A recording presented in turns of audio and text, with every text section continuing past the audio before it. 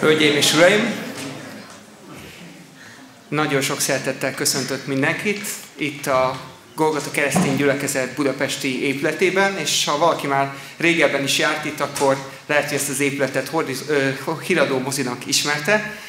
Én Bajik Péter vagyok, ennek a gyülekezetnek az ifjúsági és operatív lelkipásztora, és nagyon nagy szeretettel köszöntök mindenkit, és nagyon nagy megtiszteltetésnek tartjuk azt, hogy a kárvinista apologetika vitaestjeit így többszörre már itt tarthatjuk, itt adhatunk otthon neki. Úgyhogy a beszélgetőknek nagyon hát, nagy áldásokat, sok szerencsét, és egy nagyon konstruktív és egy nagyon-nagyon építő beszélgetést és vitát kívánok sok szeretettel, illetve a részvevőknek, a hallgatóságnak pedig nagyon jó szórakozást, és átadom a szót kedves beszélgetőknek. Köszönjük szépen! Mindenek előtt hagyd mutatkozzak be, én Geng Viktor vagyok, a Budapesti Műszak Egyetem Filozófia és Tudománytörténet tanszékének oktatója, és nekem jutott az a megtiszteltetés, hogy akkor én vezetném ezt a vitát. Hát nem egészen vitáról lesz majd szó, aztán meglátjuk, hanem sokkal inkább beszélgetésről. Tehát én vezetném ezt a beszélgetést, én moderálnám ezt a beszélgetést, és hadd mutassam be akkor a részvevő feleket, dr. Orosz László, címzetes egyetemi docens,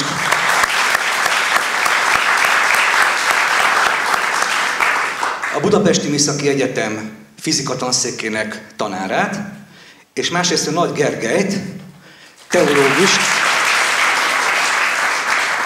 lelkészt, a Károli Gáspár Református Egyetemnek a harmadéves ö, doktorandusz hallgatója, és ugyanakkor a Kálvinista apologetika alapítója. Kutatási területe elsősorban az angol száz, 20. 20. illetve 21. századi angol száz, analitikus vallásfilozófia, illetve tulajdonképpen tudományfilozófia. Most át is adnám a Gergelynek a szót, hiszen azt ígérte, hogy lesz valami meglepetés majd a számunkra. Igen, én is sok szeretettel köszöntök mindenkit, és nagyon röviden csak egy olyan hírt szeretnék elmondani, ami már évek óta érlelődik és húzódik. Ez pedig az, talán vannak közületek, akik hallottak arról, hogy 2019 tavasza tavaszán egy kedves barátom megkapta William Lane Craig Reasonable Face, azaz magyarul észszerű hit című művének a fordítási jogait, és ezt a könyvet hosszas húzavona után végre személyesen is, illetve fizikai formátumban is a kezetekbe foghatjátok, és így évek hosszú kitartó munkája után elkészült magyarul, és szombattól, illetve a hétvégétől előrendelhető lesz az értelmeshit.hu weboldalon, úgyhogy aki már hónapok óta, illetve évek óta erre várt, annak most ez az idő eljött, és én is bátorítanék mindenkit, hogy aki megteheti, a szerezze be ezt a könyvet. Ez lenne az a meglepetés, amivel én készültem. És hogyha már könyv, akkor is... Köszönjük. A taps nem nekem jár. nem én fordítottam, és nem én csináltam ezt a projektet, de ha már Orosz Lászlóval itt vagyunk, akkor azt még engedjétek meg, hogy elmondjam, hogy viszont készül egy másik könyv is, Észszerűség, Tudomány, Isten címmel, ahol a többek között Orosz Lászlóval, Puzsai Robertel, Boldog Kis volt, illetve a dr. Szalai Miklós filozófussal folytatott vitáinkat tematizálva, témákra bontva, illetve a vitákból kivonatot tudtok olvasni majd, és exkluzív interjúkat is a tudomány, hit, Isten, észszerűség témakörében a könyvben szereplő filozófusokkal, tudósokkal. Úgyhogy ennek a megjelenés ideje jövő május-június várhatóan, és hogyha támogatná, támogatni szeretnétek ezt a projektet, akkor a Kálvinista Apologetika Patreon oldalán tehetitek meg, ez a patreon.com per Kálvinista Apologetika, ahol egyébként minden egyéb infót megtaláltok. Szóval köszönöm. Köszönjük szépen, és ha már támogatásról van szó, akinek esetleg tetszett a vita, épületesnek, építőjellegűnek tartotta, akkor a kijáratnál, a bejáratnál van egy kis lehetőség arra, hogy esetleg támogassa is ezt a vitát, ezt a rendezvényt. Egy pár szót hagy mondjak, miért belekezdenénk a vitába. Magának a vitának egyrészt a szerkezetéről, másrészt pedig a tartalmáról, ugye a címéről.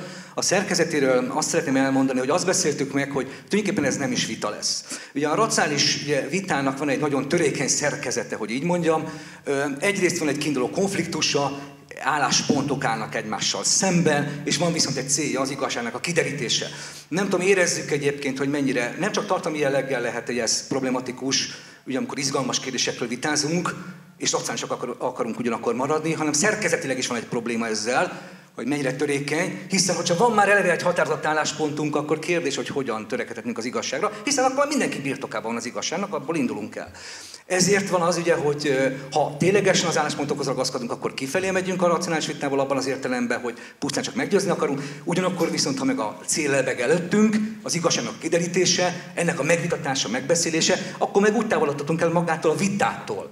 Na most ez utóbbi lenne végig is nekünk a célunk alapvetőleg itt, hogy nem annyira vitát akarunk folytatni, hanem a racionális vitából kiindulva sokkal inkább egy ilyen kis megbeszélés lenne, eszmecsere lenne végül is ugye ez esetben. A nagyjából a szerkezetért még azt akarom elmondani, hogy nem lesz egy agyon moderált, ugye kötött szerkezetű. 10 percben elmondhatják a felek ugye a kezdésnél, tehát a vitának a kezdésénél, vagy a beszélgetésnek a kezdésénél a saját maguk álláspontját, illetve a legalapvetőbb érveket, amelyekre azt gondolják, vagy amelyekkel kapcsolatban azt gondolják, hogy beton biztosan alátámasszák ugye az álláspontukat. Ezt követően viszont ugye egy beszélgetés alakul ki, megbeszéljük szépen sorba az adott érveket, illetve tulajdonképpen az álláspontot. A végénél pedig ugye majd szeretnék hát egy kérdést majd föltenni, ez mind a hallgatóság felé, és mind pedig a részvevők felé is fog irányulni, nevezetesen, hogy történt-e valamifajta elmozdulás a vitának köszönhetően. De mondom, akkor majd erre vissza fogunk térni a későbbiek során. Jó, a tartalmi szempontból pedig nagyon fontos, ugye, hogy miről is lesz szó itt. A test és az elmének a kapcsolatáról, vagy egészen pontosabban egy még alapvető problémáról, hogy beszélhetünk-e egyáltalán lélekről. Nem kicsi a tét, hogy így mondjam. Tehát ez nagy port tud fölkavarni ez a fajta vita, hiszen már csak két szempontból is nagyon fontos ugye, ez a jelleg, illetve ez a, ez a problémakör. Egyrészt végül is gondoljuk el, hogyha a válaszunk az, hogy nincsen lélek, mert pusztán csak testek vagyunk, ugye a személyiség az pusztán csak az agyhoz köthető, akkor nyilván ugye a halál után gyakorlatilag nem beszélhetünk további létezésről, további életről, gyakorlatilag a test fölbomlásával megszűnik maga a lélek is, illetve tulajdonképpen az elme. Másrésztről viszont ugye azért is nagyon fontos a kérdés, ugye hogyha nincs ugye lélek, fölvetődik ugye az a probléma, fölvetődtek azok a problémák, azok az erkölcsi problémák. Mit kezdünk például ugye az erkölcsi felelősséggel, stb. Ha ténylegesen az agyra redukálható tulajdonképpen a lélek, amit egyébként azt gondoljuk, hogy egy morális ágens is egyben. Tehát nem kicsi a tét, nagyon komoly problémáról van szó, de mint említettem, itt nem kimondottan vitáról lesz szó, hanem sokkal inkább egy ilyen műhely beszélgetésről, egy baráti beszélgetésről. És akkor én át, is adnám a szót akkor Gergelynek, tehát akkor 10 perc erejéig nem kell kihasználni ezt a 10 percet, tehát 10 perc erejéig akkor fejtse ki az álláspontját, illetve az alapvető érveit. Köszönöm szépen!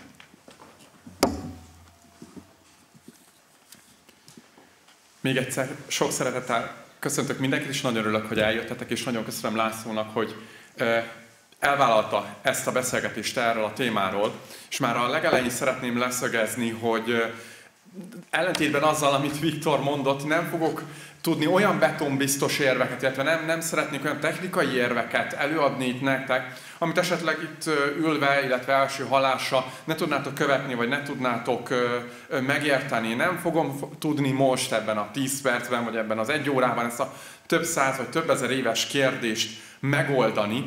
És tisztában vagyok azzal, hogy mindkét oldalon van a témával kapcsolatban erős érv, technikai érv is annál, amit én most itt fel fogok nektek sorakoztatni.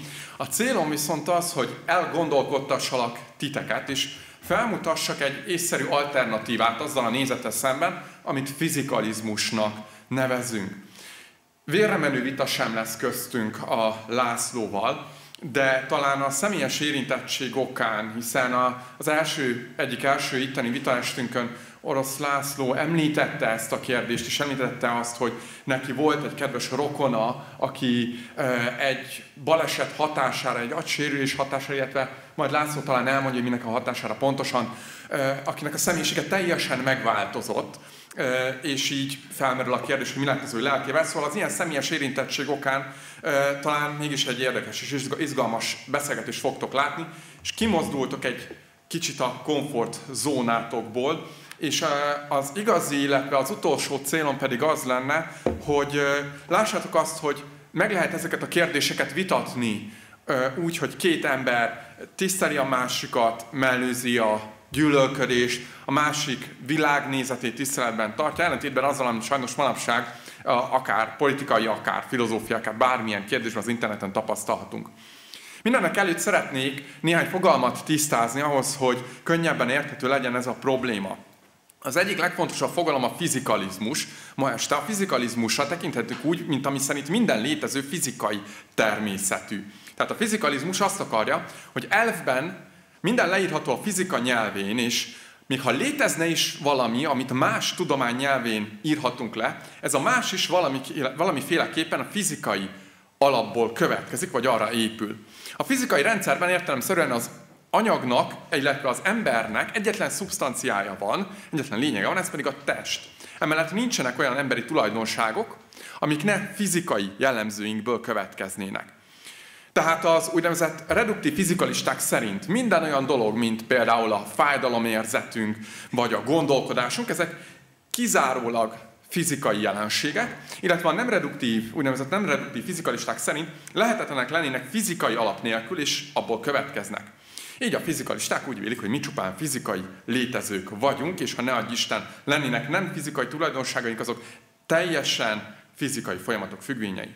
Ezzel szemben állnak a dualisták, illetve a dualizmus, aminek több ö, formát is megkülönböztetjük. A szubstancia dualizmusról szeretnék néhány szót beszélni. A szubstancia dualisták értelemszerűen azok, akik a fizikalistákkal szemben állnak, nem értenek velük egyet, és ő szerintük a lelki, illetve a mentális entitások saját jogukon létező független szubstanciák, azaz a tudat és például a lelki entitások nem fizikai létezők. A következő, ami felmerül, hogy akkor mi az a lelki entitás. És ahogyan az anyagot is elég nehéz pontosan, precízen definiálnunk, úgy azt is, hogy mi a lelki entitás, azt is nehéz definiálnunk. Én úgy gondolom, hogy lelki entitásnak nevezhetünk valamit, amiről az adott alany mindent jobban tud, mint bárki más, vagy lehet olyasmi a lelki entitás, amihez az adott alany privát, első személyi hozzáféréssel rendelkezik. Tehát a, például a lelki tapasztalatok a privát szférához tartoznak, de a lélek folyamataihoz tartozhatnak a nem tudatos ismeretek, vagy a motivációk is. Ugye a szubstancia dualizmus szerint az agy egy fizikai szubstancia, aminek fizikai tulajdonságai vannak, és az elme, a tudat és a lélek pedig nem anyagi szubstanciák, aminek nem fizikai tulajdonságaik vannak.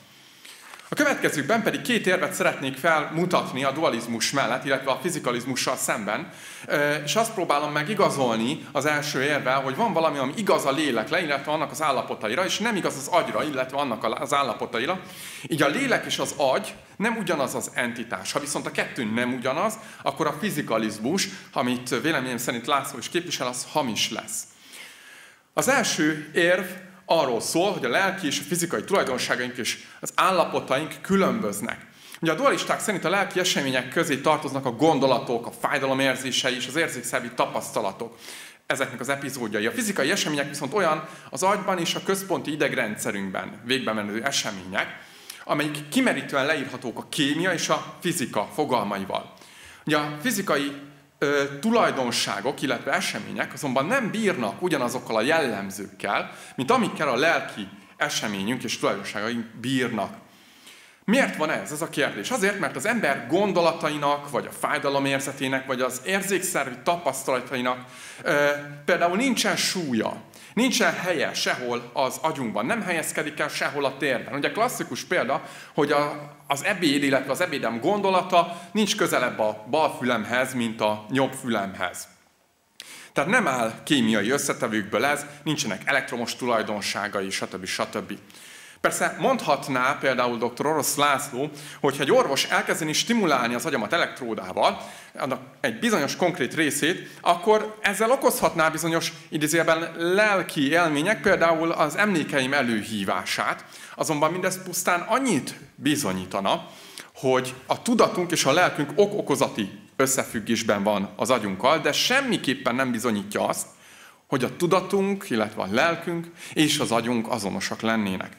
Egy, egy egyszerű példával szeretném ezt szemléltetni, és arra kérlek titeket, hogy ha tehetitek, képzeljétek el egy rózsaszín elefántot, és csukjátok be a szemeteket. És hogyha ezt megtettétek, akkor figyeljétek meg, hogy mi mindig ott lesz a tudatotokban ez a rózsaszín elefánt, és a rózsaszínnek az érzete. Most már kinyithatjátok a szemeteket, hogyha gondoljátok. És mindannyian tudjuk, hogy itt van ez az elképzelt elefánt, és hogyha egy rózsaszín mm, elefántot, illetve a rózsaszínt képzeljük el, ennek az érzete ott lesz az agyatokban, viszont itt a teremben hirtelen nem fog megjelenni egy rózsaszín elefánt. Emellett, bár ott lesz az agyunkban ez a kép, viszont, hogyha mondjuk egy tudós feltárná az agyunkat, és kinyitná a koponyánkat, és megnézné az agyunkat, nem találna benne semmit, ami elefánt lenne, vagy rózsaszín lenne. Semmilyen rózsaszín nem találna ott. De ha ez igaz, akkor az a kérdés, hogy hol van ez a jelenség. Úgy tűnik, hogy nem a fizikai térben, tehát így elmondhatjuk, hogy az érzékszerű eseménynek olyan tulajdonsága van, amit egyetlen agyi esemény sem tartalmaz, ezért a fizikai agyi események és az észlelt lelki események nem lehetnek azonosak. A másik érvem, és ez a második érvem, Richard Swinburne egyik érve, és magyarul például a Van Isten című munkájában található meg, és Swinburne az alábbi gondolatkísérlettel próbálja meg igazolni azt, hogy létezik valami anyagtól független szubstancia. Azt írja Swinburne, hogy ugye az agyunk, ahogyan tudjuk, két féltekből és az agy, agytörzsből áll. Bizonyítékok vannak rá, hogy az ember túléli az egyik agyféltekének nagyfokú károsodását is, anélkül, hogy megszűnne tudatos lény lenni.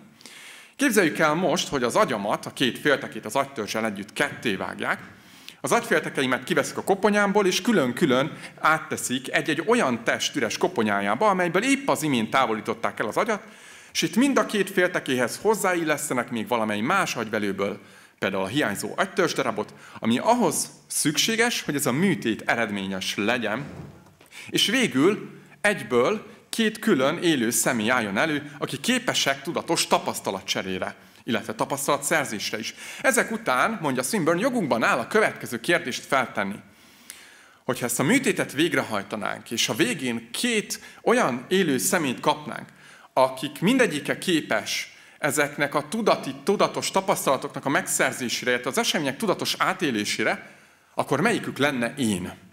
Akinek ugye az agyát ketté vágták, és két, két külön testbe helyezték. Én, mondja Swinburne, nem lehetek mindkét személy, hiszen ha mindkettő azonos lenne velem, akkor azonosak lennének egymással is, már pedig nem azonosak. Így három lehetőség maradt, vagy az a személy vagyok, aki a jobb oldali félteken birtokában van, vagy az a személy vagyok, aki a bal oldali félteken birtokában van, vagy pedig egyik sem, de nem tudhatjuk biztosan, hogy mi az igazság.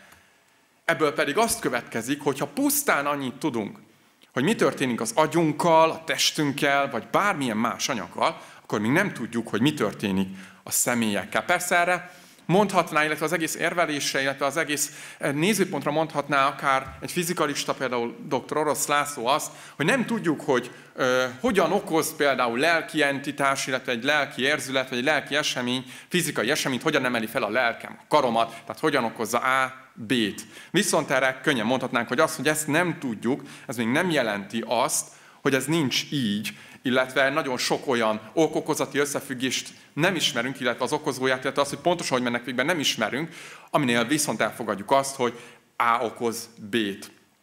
Így, hogyha, így gondolom, hogy ha jó érvek vannak a dualizmus mellett, akkor az, hogy nem tudjuk pontosan megmondani, hogy ez az okozás hogyan történik, az nem kell, hogy ezt gyengítse.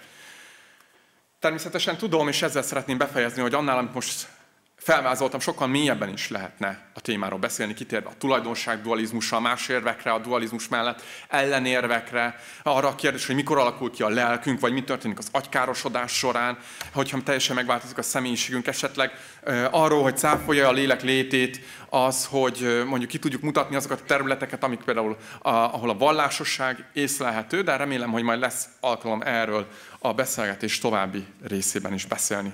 Köszönöm szépen!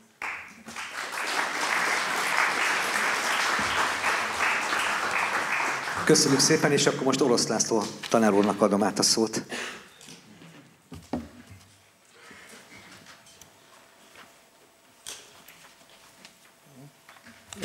Kedves vendégek, köszönöm szépen a meghívást, nagy megtiszteltetés, hogy éppen, hogy ismét itt lehetek.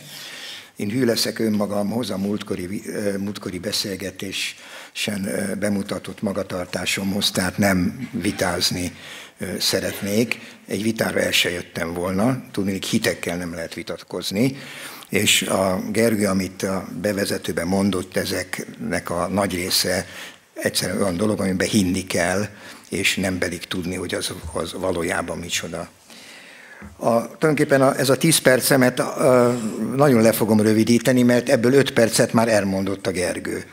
Tehát, hogyha Gergő beszédéből kihúzzuk azokat a, azokat a mondatokat, amelyek konkrétan az ő álláspontjára vonatkoznak, akkor tulajdonképpen ott marad az, hogy én mit mondok.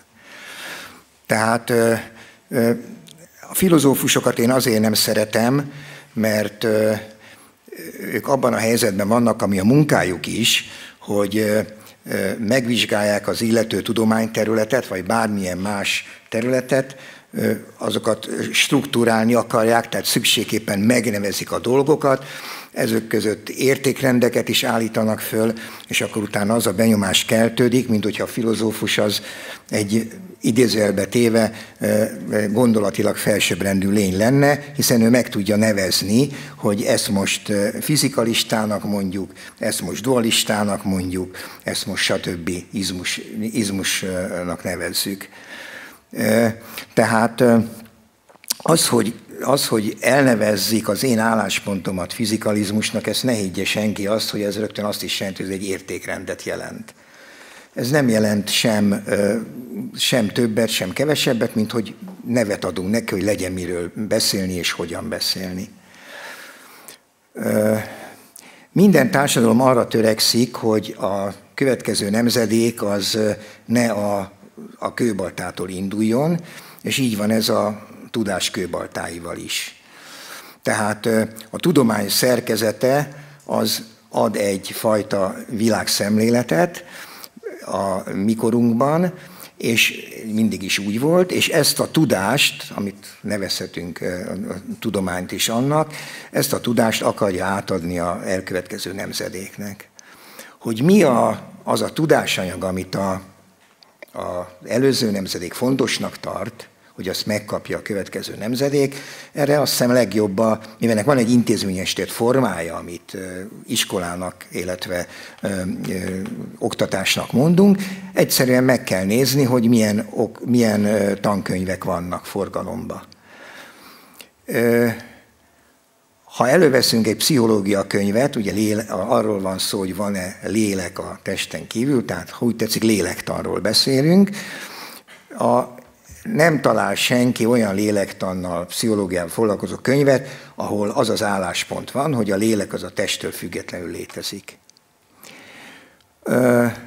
Hogy mennyire meggyőző esetleg az, hogy az agyon kívül nem létezik lélek, tehát az agy funkciója tulajdonképpen a lélek jelenléte, ezen ne csodálkozzunk, hogy ezen még viták vannak, hiszen a pszichológia az az egy 150 évnél nem öregebb tudomány, és az agykutatás az pedig talán az intenzíven talán 40 éve kezdődött, tehát még igazán nagyon fiatal. A fizikához képest, amelynek a múltja az 2000 évnél messzebbre tekintett vissza. Tehát nagyon elején járunk még annak, hogy, hogy pontos válaszokat adjunk arra, hogy az agy az hogyan működik. Ennek ellenére rengeteg mindent tudunk már. Tehát én is azon az állásponton vagyok, mint egyes pszichológusok, hogy ha meg akarod a lélek tulajdonságát ismerni, akkor ismerd meg az agy, agy működését szinte sejtről sejtre. Az én álláspontom, amit én képviselni szeretnék, az a jelenleg a 21. században lévő tudományos álláspont, ahol a léleknek a, az agy, mint agyi funkcióként van helye. Biztos vagyok benne, hogyha, hogyha valaki hozna egy olyan tapasztalati tényt, amely azt mutatja, hogy a testen kívül is van lélek, de ez, de ez olyan tapasztalat, amit objektíve mérésekkel igazolni lehet, akkor ő már rögtön a, világ összes filozóf, vagy pszichológusa rácsapna erre a témára, és elkezdeni a laborjaiban ezt vizsgálni. Nyugodtan mondhatja valaki, hogy van ilyen, hiszen parapszichológusok léteznek a világon, van folyóiratuk, van könyvük, én nem akarok áltudományjal foglalkozni, tehát ez, az, hogy valamiről írnak és szisztematikusan fölépítenek egy rendszert, zárójel bolond beszéd, de van benne rendszer, attól még az nem biztos, hogy helyes és jó. Én úgy látom, én úgy gondolom, hogy a lélek megközelítéséhez az vezet, amit én fogok követni, hogy van a, a lélek fogalom kialakulásának, illetve funkcióinak van egy biológiai oldala, ez, ez maga az agy és az evolúció, ami során az agy eljutott arra a, a szervezési fokra, amelyben jelenleg itt a fejünkben van. Van egy szociológia vonatkozása, tehát az ember társas lény, és nagyon sok lelki funkció ehhez kötődik, és, és végül van, a, van az a amit talán úgy mondok, hogy az, hogy az agy funkciója maga, tehát az agy, mint fizikai, fizikai létezőnek a, a, a megfelelkezése a lelki funkciókkal.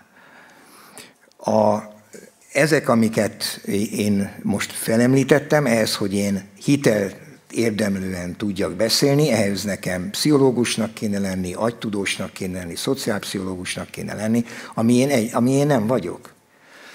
Tehát amikor ezeket mondom, a majd az érveimet, vagy a beszélgetés során a mondani valomat, ezeket én nem fogom tudni majd konkrét neveket citálva exaktá tenni, viszont bárki utána olvashat.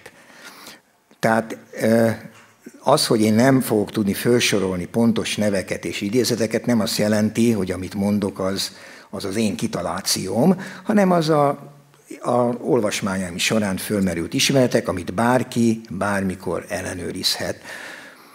Nagyon fontos, hogy a, mivel a tudomány álláspontján vagyok, két olyan dolog van, ami itt most fontosnak tartok befejezésül. Egyik az, hogy a tudományos gondolkodás egy koherens kép, tehát nem kell, lehet véleményem a, a léleknek a miben létéről és működéséről attól függetlenül, hogy én nem vagyok ezen résztudományoknak egyik, egyik tudora sem, viszont a véleményem az lehet olyan, hogy összefér, összefér és megfelel a mai modern tudományos szemléletnek. Én ezt a tudományos szemléletet próbálom itt, itt képviselni. A másik a tudományban fontos az ellenőrizhetőség és a tapasztalat. Tehát amit Gergő felsorolt az ő részén, azok filozófiai gondolatok, filozófusok nagyon sok mindenről szeretnek beszélgetni, de nem árt, hogyha tapasztalat is van hozzá. Mi azért nem vagyunk filozófusok, hanem történetesen fizikusok, vagy pedig természettudósok, mert nem filozofálgatunk a világról, hanem a tapasztalataink alapján fölpróbálunk építeni egy koherens világképet, amelyeket utána ellenőrzünk tapasztalatok útján. Hát ez lesz körülbelül az én szeretem, azt hiszem újat nem mondtam, mert mindig ezt képviseltem. És akkor köszönöm szépen a figyelmet.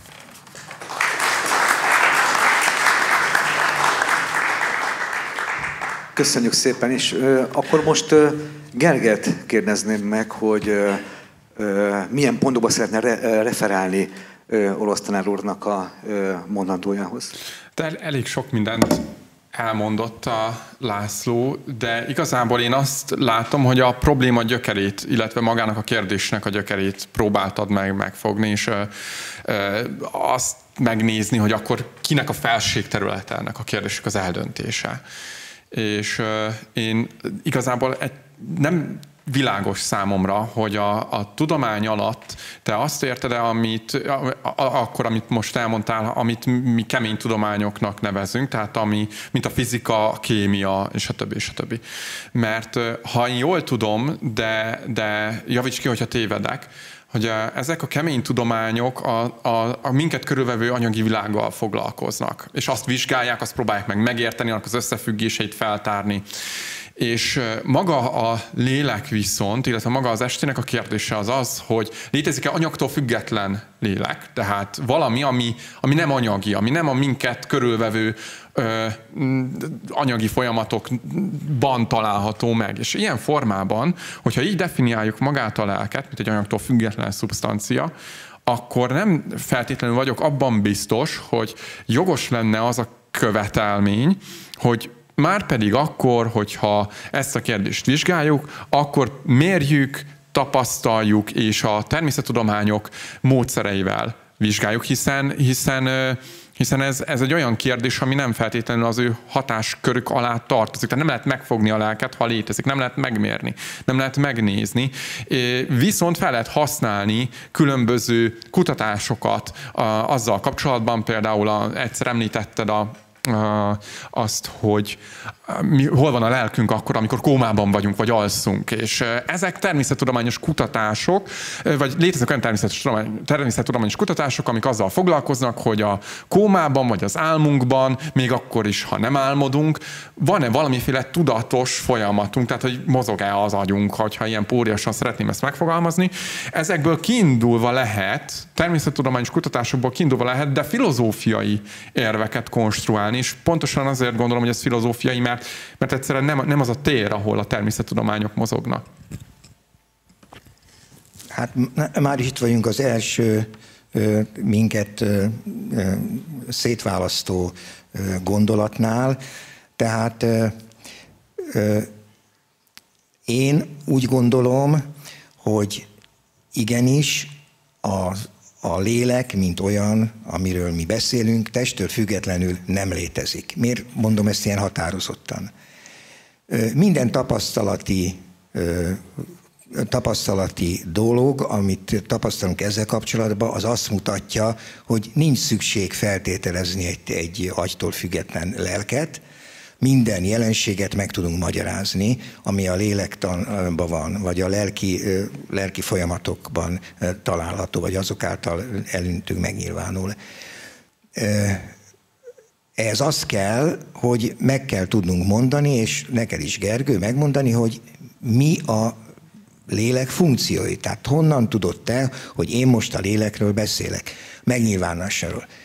Ezek ahogy az ember olvassa a könyveket, ugye a lélektanban zömmel az érzelmek világa az, amit földolgozza a pszichológia, ahol már kogníció van, tehát valami értelmes megnyilatkozás, vagy értelem megnyilatkozás agyban, azt el is nevezték kognitív pszichológiának, hogy ezt élesen külön váljon a kettő. Tehát amit mi érzünk első körbe, azt nevezzük léleknek. Most azért vagyok szerencsés helyzetben, mert a lelke mindenkinek kéznél van. Tehát próbáljon belegondolni abba, hogy amikor ő a lelkéről beszél, az a saját lelkéről, akkor milyen tulajdonságokat társít hozzá, és mik azok a tulajdonságok, amelyek alapján ő azt mondja, hogy na, ez az én lelkem. Ezt mindenki magának kell, hogy megtegye, mert erre nincsenek ötletek, tehát ki, hogy éli ezt meg. Azonban gondolkozzunk el azon, hogy az a lélek, amit mi most annak mondunk, most így felnőtt fejjel, és amiről megkívánjuk azt, ugye most vallási közegben is vagyunk, tehát hogy az majd, ha meghalok, akkor túlél, és van egy saját túlvilági élete, hogy ez mikor alakul ki bennünk, erre tettél említést. Tehát van egy része a pszichológiának az úgynevezett fejlődéslélektan, amely pontosan azzal foglalkozik, hogy a kisgyerekben hogyan alakul ki lassan az az én kép, és az a valami, amit énnek mondunk, illetve az, amit mi úgy nevezünk, hogy ő neki van lelke. Most én annak idején, mikor a gyerekeim piszik voltak, ezt úgy tudatosan figyeltem, azóta van már négy unokám, mindegyiknél tudatosan figyeltem, akik már idősek, illetve most a pár hónapos unokámon tudatosan figyelem, hogy mikor mondhatom én azt, hogy na ő benne már az a bizonyos valami, amit léleknek mondunk, az már megvan. Én azt tapasztaltam, és most ez tapasztalat az életben, saját magamon is, akkor visszagondoltam erre, hogy bizony ez a lélek, ez kialakul bennünk, ez a lélek tudat vagy, amit annak nevezünk. És ahhoz idő kell. Egy ma született csecsemőnél nem tudom megmondani azt, hogy mi az a mi az ő lelke. Mert a funkciók, amiket alapján én következtetek rá, az nincsen meg. Persze lehet azt mondani, hogy a lélek az egy olyan valami, ami létezik, de, de nem, hat, nem, nem vizsgálható a megszokott tudományos módszerekkel, de ezzel tulajdonképpen csak kibújtunk a felelősség alól, mert meg kell mond, mert nem szabad lebegtetni azt a kérdést, hogy mi az a lélek. Tehát te, aki nem, nem hiszel abból, hogy az agytól függetlenül létezik ez a lélek, akkor neked meg kell tudni mondani, hogy mik a funkció, mire mondod azt, hogy na ez egy lelki megnyilvánulás. És mivel egyházi közegbe vagyunk, ez a kérdés, ez, ahogy említettünk, nagyon súlyos, mert hiszen a halálunk után egy örökké valóság lesz, amivel ez a, ez a lélek majd kacérkodni fog. Sőt, hogyha az Úristen létezik, akkor ő, ha ő teszi belénk ezt a lelket, akkor ott van az ő tevékenysége és a, úgy tetszik a, a, a felelőssége is, hogy milyen lelket tett belénk, és ez hogy határozza meg az örökké való életünket. Tehát valóban úgy van, hogy ez a lélek probléma nem egy elhanyagolható dolog, erre választ kell adni. Én természetesen ateist, mint ateista, én azt mondom, hogy ilyen lélek nincsen. A másik dolog, amit akarok mondani ezzel kapcsolatban, hogy az ember, ez egy hosszú evolúciós, evolúciós fejlődésnek az eredménye. Akinek van házi állata, kutyája például, nagyon jól tudja, hogy néha a kutyák viselkedése a szinte már idézetéve emberi, tehát olyan megnyilvánulásai vannak, mint hogyha ő is egy érző lélek lenne. Az emberszabású majmokat vizsgálva szintén a szociális együttműködés során van olyan tevékenységük, amelyekre kívülről azt mondjuk, hogy olyan, minthogyha a lelke lenne, van empátiája, együttérzése a másik állattal szembe. De ezek mind szigorúan a természet evolúciós törvény szerint alakultak ki. Még tudnék erről körülbelül egy órát beszélni, de akkor nem kérdés lenne, hanem az én monológom. Úgyhogy én ezt tudom mondani. Nagyon szépen köszönjük. És akkor Gerget kérdezném meg, hogy a orosz tanár által mondott kiváló érvek közül melyiket vegyük akkor előrébb, hiszen több is elhangzott. Például ugye, hogy definiálni kéne, hogy egyáltalán mi a lélek, illetve hogy meg tudjuk-e magyarázni egyáltalán, hogy mi a lélek, illetve tulajdonképpen, hogy hova köthetnénk, melyik ponthoz köthetnénk végülis a egyetfejlődés során a léleknek a megjelenését, ha ténylegesen létezik a lélek. Nem tudom, melyikkel szeretnéd kezdeni? Hát, igazából szerintem definiálni kell akkor, hogy, hogy miről is beszélünk pontosan. Próbáltam egy talán megfogható definíciót adni a nyitó beszédemben, de hogyha azt mondom, hogy lélek, vagy lelki, vagy attól függ, hogy ki milyen nézetet val a lélekről, tehát hogy a tudat és a lélek egy, vagy a tudat és a lélek és a test az külön mm, entitás egy, egy emberben, egy külön szubstancia, de talán, hogyha azt mondom, hogy a lélek az, ami, ami én vagyok, amit érzek, amihez csak én férek hozzá, és más nem, a, akkor, akkor bár tudom, hogy ez egy kicsit filozofikusan hangzik, de, de így lehet a leg, legkönnyebben körülírni azt, hogy mi is a lélek.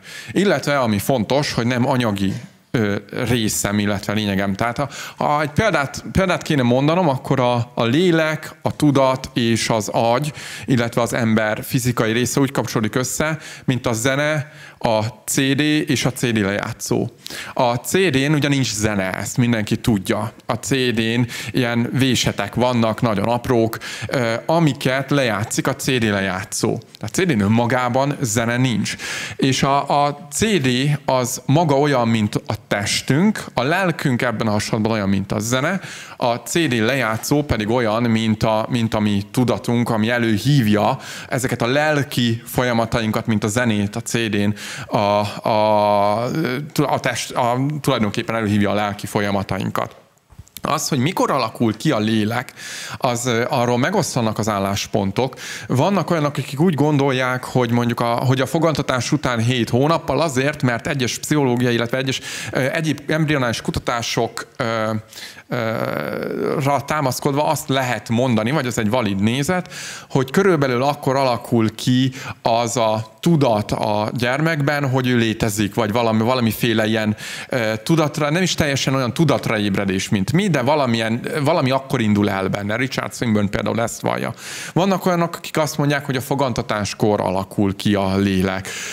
Ezt igazából mm, nem tudjuk pontosan exaktul meghatározni, és az is biztos, hogy a lelkünket is formálják, és építik a tapasztalataink, az, amit a külvilággal kapcsolatban megszerzünk. Tehát a lelkünk az velünk együtt növekszik, de arra szeretném felhívni a, a figyelmet, hogy az a kérdés, hogy mikor alakul ki a lélek, és mondjuk valaki azt mondja, hogy a fogantatáskor, valaki azt mondja, hogy 7 hónapos korban, valaki azt mondja, hogy három éves korban lesz olyan a lelkünk, amilyen.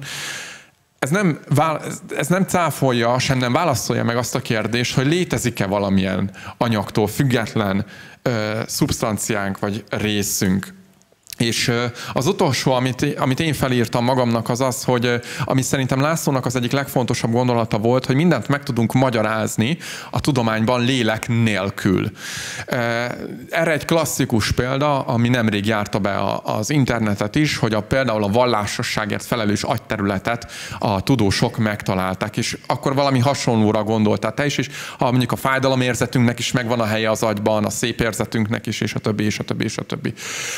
Ez igaz, hogy ennek megvan a helye az agyunkban, de ahogyan utaltam rá, nem az a kérdés, hogy mondjuk az agyamat stimulálva tudnak-e bennem fájdalomérzetet gerjeszteni, mert ez nem válasz arra, hogy van-e lelkem vagy sem. Az, hogy az én vallásosságomért van egy felelős agyterület, az, hogy önmagában csak ez az agyterületem létezik, vagy az a vallásosság kialakulását ott valamiféle lelki folyamat is, vagy bármi más meghatározza-e, ami nem fizikai, ez már filozófiai kérdés. Így, amikor azt mondja valaki, hogy megtaláltuk a vallásosságért felelős agyterületet, akkor nem egy természettudományos kijelentést tesz, mert csak azt az agyterületet találták meg, ami erősebb, gyengébb, működésbe lép, nem lép működésbe, ilyen vagy olyan a vallásos és a nem vallásos embereknél.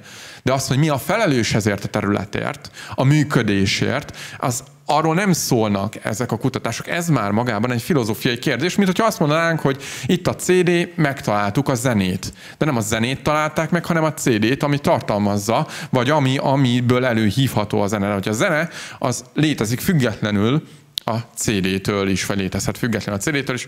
Úgyhogy nem gondolom, hogy ezek perdöntőek lennének, sőt, el lehet ezekről beszélgetni, és, és visszautalva arra, amit László mondott a legelején, hogy nem szereti a filozófusokat, igen. Úgyhogy kedves Viktor és társaitok a, a BMW-ről távozzatok, hogy tudjátok, hol a helyetek. Letagadom. De, de de azért azt, azt szeretném megköszönni Lászlónak, hogy egyrészt, amit elmondott itt a legelején, mert ez egy nagyon szép filozófia is, egy filozófushoz méltó beszéd volt, illetve szeretnék, hogyha nem probléma egy idézetet Lászlótól hozni a YouTube-on megtalálható, a BM-én készítettek egy ilyen életinterjút veled, fent van, fent van az interneten, és László azt a mondatot mondta ebben az interjúban, hogy amikor a fizikát tanultam, a világot tanultam. Amikor erről gondolkodtam, vagy gondolkodom, bocsánat, a világról gondolkodom.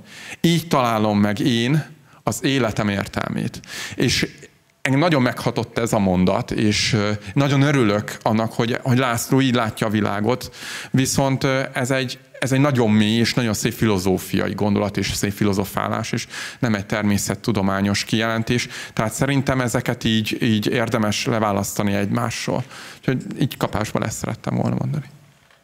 Nagyon szépen köszönjük, és akkor megkérem Lászlót, hogy uh, a, a Gerg által mondott, hogy analógiát ezzel kapcsolatban hogyan értékelni, tehát a CD Igen. lemez, illetve a lejátszó és a zenének a viszonya, mennyire találta, vagy találtad, ez ténylegesen találónak, ezt az analógiát, a test és a lélek kapcsolatára vonatkozólag. Igen, köszönöm szépen, hát a számból vetted ki a szót, hogy úgy mondjam. Én nekem is az első reakcióm rögtön az, hogy nem jók ezek az analógiák. A, a, a dolog ennél sokkal bonyolultabb, és az analógiák az néha nagyon félrevezetőek tudnak lenni. Ebben az esetben szerintem ugyancsak félrevezető az egész, hiszen ez a, ez a zene, lejátszás, maga a készülék, ami, a, ami lejátsza azt a készüléket, a, a lemez, amelyen dekódolva van a zene, ezeknek minden lépése pontosan meg, megmagyarázható, és nem ugyanez, a, ugyanez, a, ugyanez az okokozati sor van, amikor mi a tudatról, a lélekről nevezük így, és az agy viszonyáról beszélünk. Tehát Még egyszer azt szeretném hangsúlyozni, hogy az agykutatás jelenleg még talán 40 éve folyik nagy intenzitással. Tehát mi nagyon sok mindent tudunk már az agy működéséről, de nagyon sok mindent még nem tudunk. De az, hogy nem tudjuk, az nem jelenti azt, hogy, hogy valami olyan misztikus dologgal állunk szembe, hogy a, hogy a lélek az az létezhet a testen kívül. Most megint gondba vagyok, mert amikor a, igazából nem válaszoltál arra a kérdésre, hogy mi az a lélek, te azt mondod, hogy valami, amihez csak én férek hozzá, ezeket én nem tudom értelmezni. Tehát, tehát én arra gondolok, hogy gondoljon mindenki saját magára, ugye nekünk a, a, a verbalitás az nagyon fontos, és magunkban mindig egy ilyen párbeszédet, most mindenki gondolja végig, önmagában állandó egy párbeszédet folytat. Tehát van, mintha lenne bennünk egy valami, egy kis énke, így tudom mondani, mely állandóan beszél, beszél, beszél.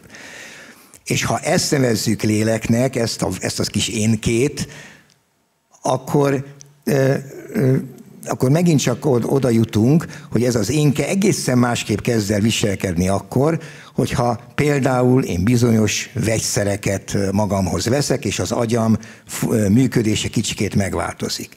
Tehát mára már a pszichofarmakológia olyan rengeteget fejlődött, hogy ugye célzottan lehet olyan gyógyszereket, vegyületeket bejutatni a szervezetbe, amely akár úgy tetszik, előre megtervezett viselkedés fog belülünk kiváltani.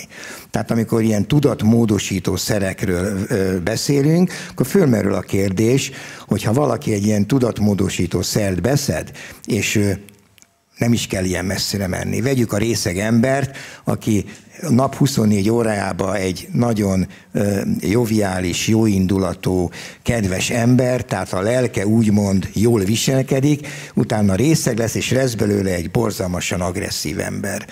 Akkor most, akkor most akkor, akkor mégiscsak megváltozott az a valami, az a funkció, amit a léleknek tulajdonítunk, és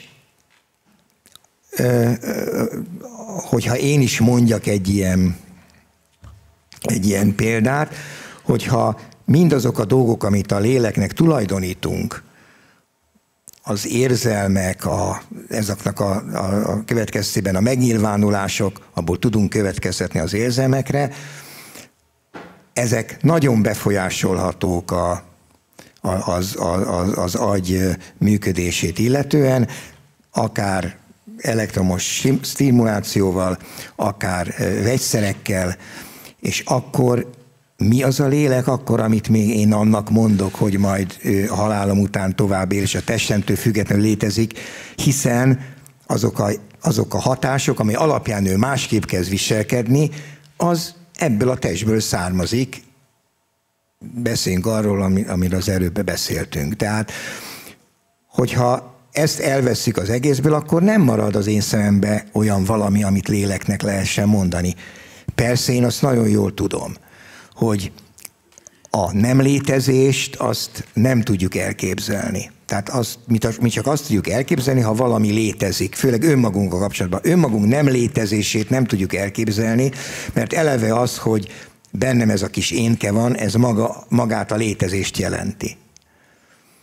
És ezért nagyon sok, sokan úgy voltunk, vagy nagyon sokan úgy vannak, hogy ezt a létezést nagyon féltik, és ezért azt mondják, hogy ez a létezés ez nem szűnhet meg akkor, hogyha az agyam leáll, hanem valahogy meg kell maradni.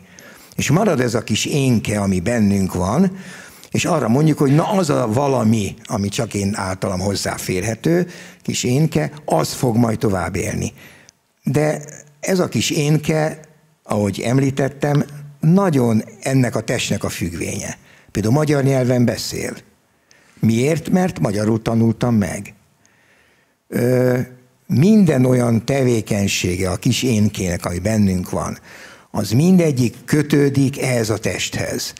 Semmi olyan testen kívüli effektusról nem tudok, és nem tud a tudomány, amelyik ezt a kis énkének, nevezzük akkor léleknek, megváltoztatná a tulajdonságát, vagy a viselkedését.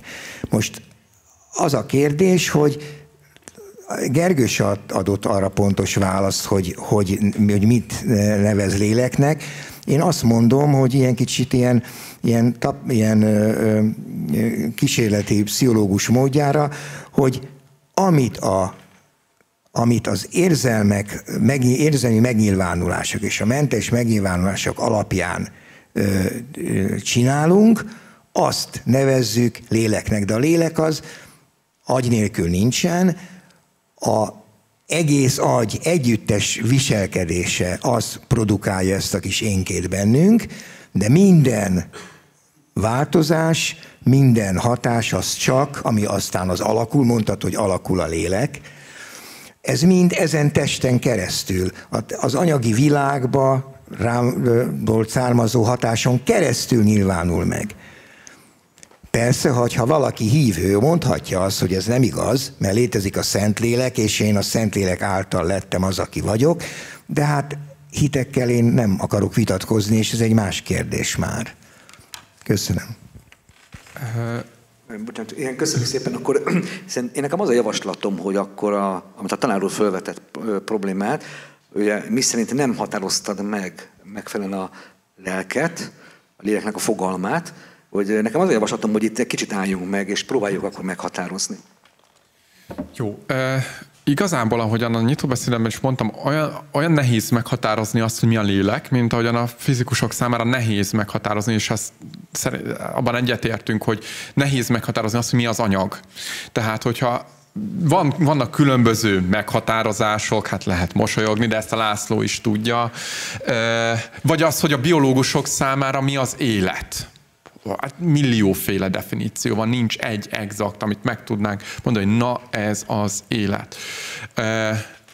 Az, hogy, hogy mi a lélek, az, az elsődleges tulajdonsága az az, hogy anyagtól független. Tehát mondjuk akkor egy, ne a negatív... független, hát de éppen azt akartam mondani, hogy nem független az anyagtól. Hát egy vegyi, vegyi, vegyszer hatására teljesen más Nem, nem úgy értem, akkor itt, akkor itt a független kifejezést máshogy értjük. Tehát nem, nem, a, nem azt állítom, hogy ne hathatna az anyagi, vagy külső, mondjuk a külső világ megnyilvánulás az én lelkemre, ahogyan a, tehát az én lelkem más emberek hatására, vagy egy külső folyamat hatására tud mondjuk deformálódni, tegyük fel. Tehát hat a külvilág, vagy az agyi folyamataim a lelkemre. Ahogyan fordítva is igaz, a lelki folyamataim is hatnak a testemre. Ezeket nevezik, bár én is csak ilyen fiók pszichológus vagyok, meg orvos, meg aztán pláne nem, de pszichoszomatikus betegségeknek, amikor a lelki folyamataink és a mentális állapotunk kihatnak a testünkre. Tehát az, az, az, hogy a lélek anyagtól független, ez az én szótaramban nem azt jelenti, hogy ne hatnának oda-vissza egymásra, hanem azt jelenti, hogy nem anyagi tehát a lélek nem anyagi, anyagtól független, tehát, és még azt sem jelenti, hogy amit a László mondott, hogy például az anyag ha megszűnik a testünk, vagy tegyük fel, meghalunk, akkor a lelkünknek feltétlenül tovább kellene élnie. Ugye én kifejezetten szeretném kerülni ma ezt a kérdést, hogy mi történik a lélekkel a halál után, ugyanis ez már behozna egy olyan témát, hogy létezik-e túlvilág, Isten, a teizmus valószínűbb, és igazából arra szeretném felhívni a figyelmeteket, hogy például a dualizmust, amit én is képviselek ma este, számos ateista is képviseli, sőt más változatát, az emergentizmust, vagy az idealizmust, amik mind-mind nem azok a nézetek, amiket, amiket most László képvisel, és ami az ő nézetára, ezeket számos természettudós és filozófus vallja, akik egyébként ateisták. Éppen ezért szerintem az egy külön kérdés, és a konkrét lényeget nem érinti, hogy mi lesz a lelkünkkel a halál után. Arról akkor érdemes beszélni, hogyha, hogyha ha egyáltalán legalább egy lépést teszünk oda, hogy megnézzük az érveket pro-kontra a lélekkel, lélek mellett, és a lélekkel szemben.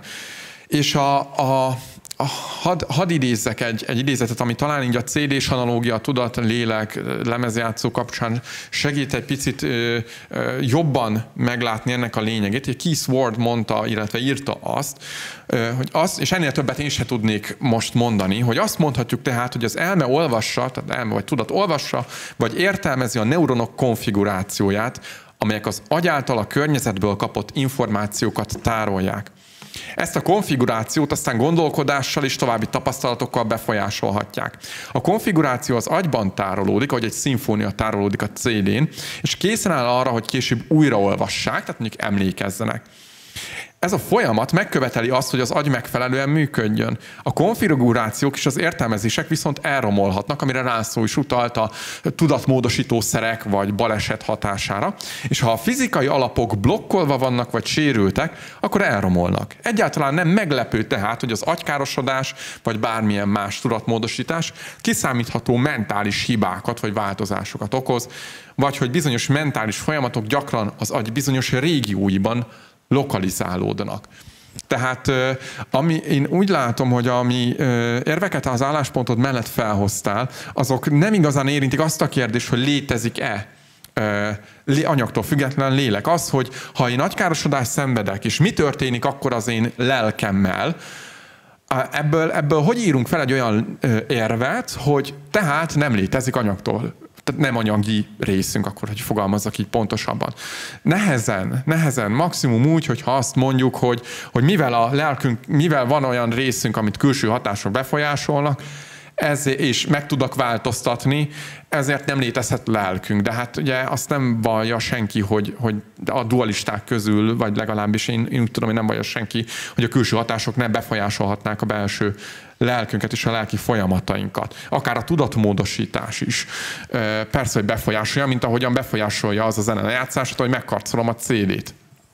És egy utolsó gondolata arra reflektálva, ami, amivel kezdted László, a tudomány kérdésével kapcsolatban.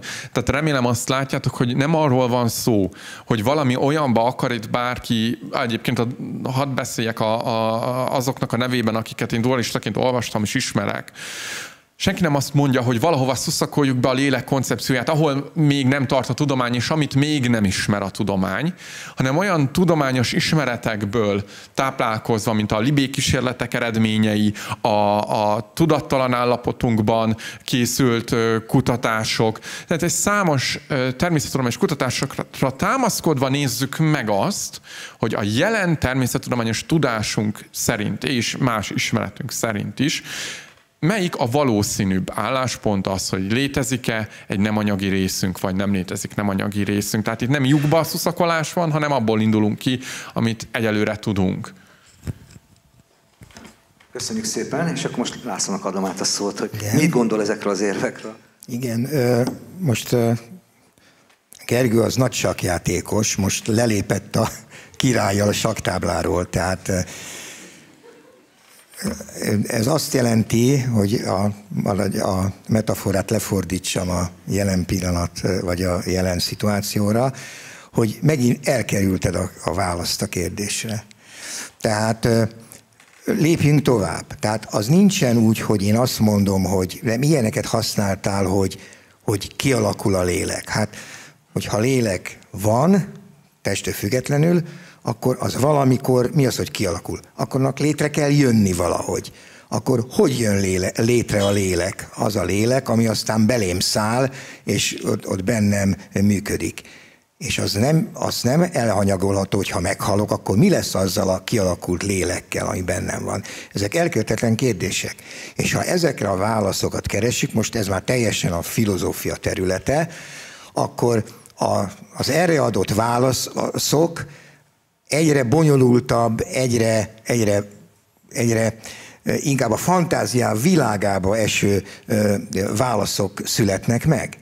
Tehát például, hon, hogy, hogy, jó, hogy születik meg a lélek? A semmiből egyszer csak lesz, vagy pedig már volt, van egy nagy lélek massza, és akkor abban olyan kis lélek darabocskákba beleszállnak a, a terhes anyába, hogyha meghal az a sok milliárd ember, akkor a lelkével mi lesz azzal a 7 milliárd lélekkel?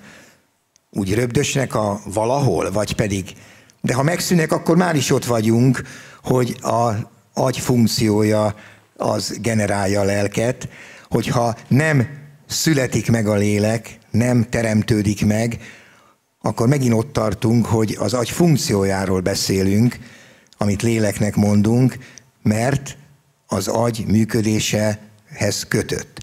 Én nem találtam sehol olyan, és nem is létezik olyan kísérlet, vagy olyan tapasztalat, amely ezt, a tény, ezt alátámasztaná, hogy a lélek az létezik testtől függetlenül.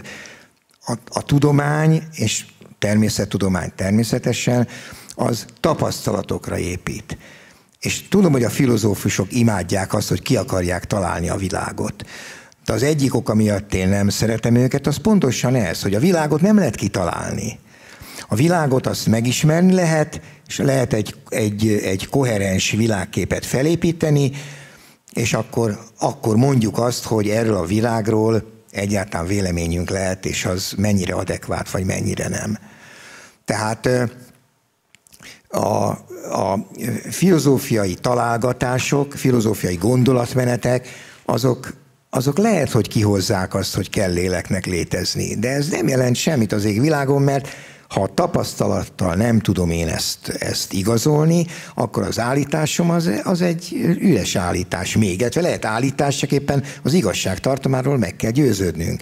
És nincs más választásunk, nem logikai érvekkel kell eljutnod, hogy tehát akar léleknek léteznie kell, hanem ez egy erős állítás, hogy produkáljál akkor nekem, Gergő, egy testtől független lelket. Akár úgy, hogy nem tudom, hogy hogy ott állok. A, a, igen. Hogyan? Hát ez az, akkor viszont nem tudod, hogy miről beszélsz, hogyha nem mondod meg, én, hogy én, hogyan. Én, tehát, tehát, hogyha a testtől független lelket nem definiálod, és nem mondod azt meg, hogy ez és ez a tapasztalati tény mutatja azt, hogy testtől független lélek van, akkor csak hitvitát fogunk folytatni. Te hiszel abba, hogy, és sok sok dualista hisz abban, hogy kell léteznie egy testtől független lélek. De ezek nem tények, ezek hitek. Uh-huh. Jó, akkor maradjunk a tényeknél, ö, mert azok, amiket most említettél, nem az, az oldaladról, azokat én nem látom tényeknek. Tehát amikor ilyen kijelentésekkel éltél, hogy a, a filozófusok ö, kitalálják a világot. Ö, tehát ez nem tény, ez nem igaz. Tehát ez, ez a tényeknek, amit a filozófusok csinálnak, nem felel meg.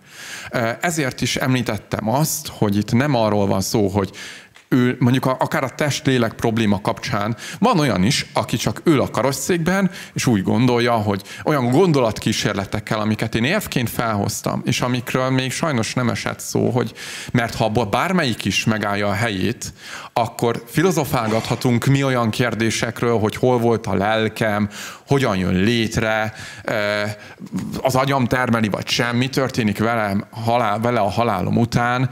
És nagyon-nagyon sok hasonló kérdést feltettél, de ezek a kérdések nem érintik, illetve nem érvek, nem igazolják sem a te, sem az én álláspontomat. Ha én most itt ülnék, és nem tudnám, egy kérdésre se tudnék felállni abból, amit az elmúlt öt percben feltettél, de megállná a helye, helyét az az érv, vagy az a két érv, vagy abból a kettőből egy, amit az a nyitóbeszédemben elmondtam, akkor is azt kellene mondanunk, hogy a valószínűnek kell tartanunk, hogy létezik lelkünk. Mert hogy én mélységesen nem értek egyet azzal a kijelentéssel, hogy nem logikai érvekkel kell eljutni arra, hogy létezik lélek, hiszen a természettudomány is, és minden, ezen alapul. A természettudomány nem logikai érvekkel jut el, a természettudósok nem logikai érvekkel jutnak el bizonyos következtetésekre, de hogy nem, megfigyelnek bizonyos dolgokat, ott vannak a megfigyelések, kísérleteznek bizonyos dolgokkal kapcsolatban, és ezeket összekötik. Ebből mi következik? Ebből következik ez. Jó, akkor nézzük meg, hogy ebből a tapasztalati tényből vagy kutatásból mi következik. Következik amaz. Tehát ezek tehát azt állítani, nem logikai érvekre támaszkodva kell erről beszélnünk. És az, meg ezt muszáj most közbevágni, hogy félre, félreviszi. Hát a, ebbe igazad van, hogy persze a tudomány, a én most természettudományról beszélek, a társadalomtudományok nem tudom, hogy hogy vannak. De a természettudományban igen, van egy koherens gondolkodásunk, van egy, van egy, van egy koherens rendszer, amin, amin keresztül ö, ö, logikai lépésekkel valamit, ö, valamilyen eredmény jutok, de utána azt mérésekkel, tapasztalattal ellenőrizzük. Tehát nem azért mondjuk azt, hogy az helyes, mert én végig gondoltam, és logikai kijött az, hogy az, hanem azért, mert utólag ellenőrzöm, hogy helyes. Minden ilyen logikai uh-huh. levezetés után, mondjam így, kapott eredményt ellenőrizni kell. Tehát az nem mondhatok azt, hogy most akkor ezt megkaptam, és akkor ülök a bamiraimon. Tehát ez, ez nagyon fontos. Ez, Tehát ez akkor, igen, de akkor az a kérdésem, hogy akkor mondjál olyan, olyan ö, ellenőrző lépést, ami alapján te eljutottál logikailag, és ezt, ezt elhiszem, eljutottál oda többet magaddal, hogy létezik a testen az agy, agy működésén kívül egy agytól független lélek, ami aztán azt csinálja, amit csinál, amit nem kerülhetik, hogy nem mondjuk meg, hogy mit csinál, hogyha attól függetlenül van, mert az neki egy fontos tulajdonsága lesz, az testen kívüli viselkedése. És akkor ide beletartozik az, hogy halál előtt, halál után az Úristen mit csinál, a, a, az örök kárhozat. Tehát ezek, nem, ezek mind szorosan kapcsolódnak hozzá.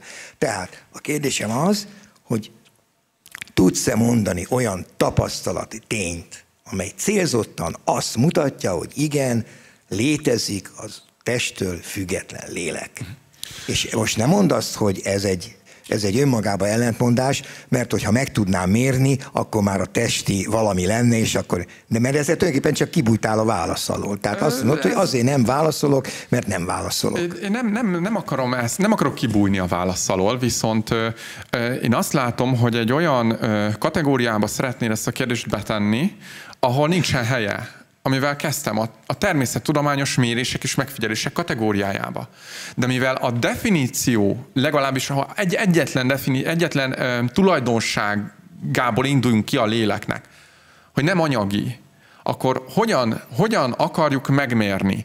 Hogyan akarjuk berakni egy kémcsőbe, vagy mikroszkóp alá? Most léptél le a saktábláról. Hát de én nem leléptem a saktábláról, hanem mondod, a határokat, ha nem, a focipályát igen, felfestettem. Defin, igen, definiálod azt, hogy az lélek az nem anyagi, tehát nem lehet tapasztalni. És akkor sakmat. Nem, nem azt mondta, nem, nem lehet tapasztalni, hanem azt, hogy nem lehet természettudományos, természettudományos mérésekkel úgy vizsgálni, mint ahogyan lehet természettudományos mérésekkel vizsgálni a, a vírusokat, vagy, vagy bármi. Akkor mondj egy olyan nem természettudományos tapasztalati tényt, ami alapján te azt mondod, hogy tehát uh-huh. ezért a lélek testtől függetlenül létezik. Mondjál Két, ilyet. Kettő ilyet mondok. Az egyik a, az az, hogy én magammal kapcsolatban rendelkezem egy olyan tudattal, ha magamban nézek, ami tulajdonképpen azt az érzetet kelti bennem, hogy én több vagyok, mint fizikai test. Ez az öntudatom. A másik az az, amit a nyitóbeszédben is elmondtam, és nekem az is elég lenne. Az az, hogy nem tudunk mit kezdeni olyan problémákkal, hogy mi történik akkor, hogyha kettévágják az agyamat, két külön ö, másik emberbe beültetik, összerakják másik adja, melyik leszek én? Megszűnök létezni?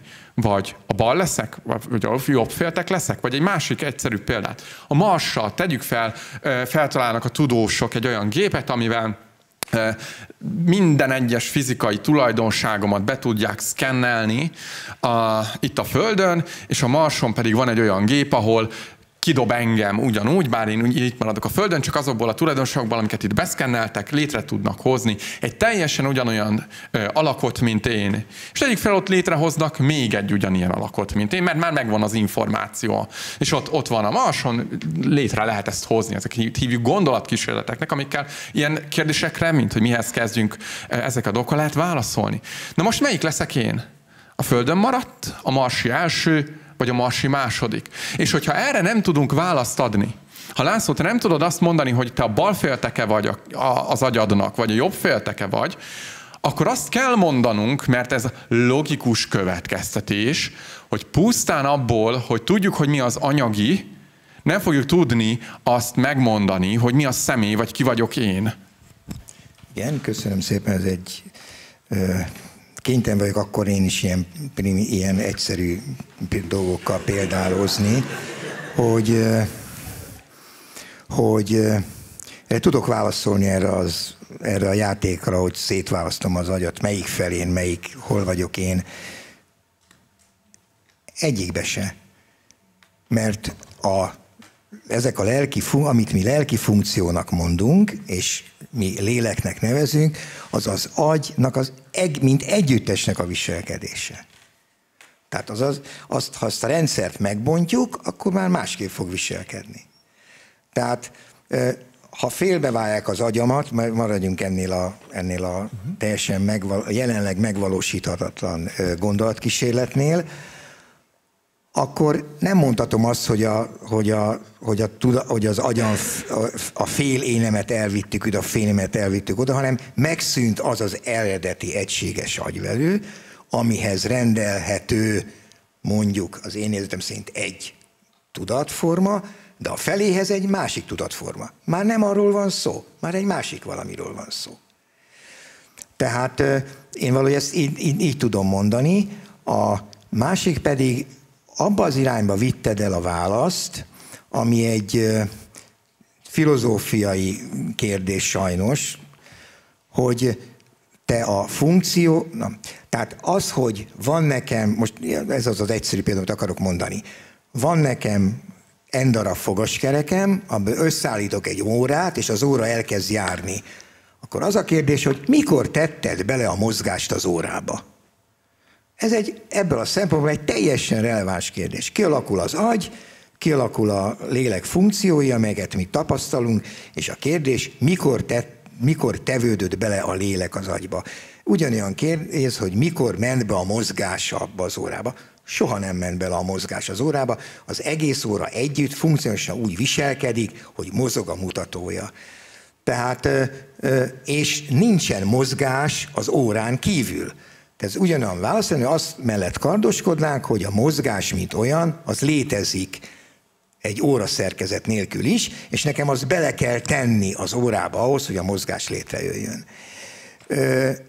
Hogy még tudományosabban fejezem ki magam, ha veszek egy hidrogénatomot, az valahogy viselkedik, vannak tulajdonságai, veszek két hidrogénatomot, és abból egy, egy hidrogén molekula lesz, teljesen másképp fog viselkedni, mint a hidrogénatom, és nem tehetem fel azt a kérdést, hogy hol van a hidrogén atomban a hidrogén molekulának a, a, a tulajdonsága. Az úgy külön bele tevődött, nem.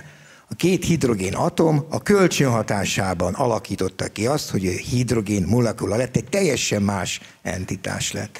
Ugyanígy a sok milliárd idegsejt az agyunkban, az összeáll, fokozatosan áll össze, a, az egyetfejlődés során végül egy olyan agyvelővé, ami gondolkozik, érez, tudata van, stb. Megszületik bennünk a kis énke, akivel, aki állandóan párbeszédet folytat a fejünkbe, és kialakul az az ideánk, hogy annak valahogy jó lenne, a tovább élne. Köszönöm erre szabad reflektálnom. Az els, első részre, mert ezt érzem én fontosnak, tehát a, a tudathasadás, illetve az agy szétválasztása, hiszen az egy konkrét érvem volt.